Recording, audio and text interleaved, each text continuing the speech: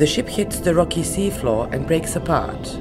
As it is impossible for the ship to be covered by sand, it will remain exposed to subsequent currents and waves, and to marine wood borers or naval shipworm, which will feast on the wood structure of the ship, slowly eating all the wood.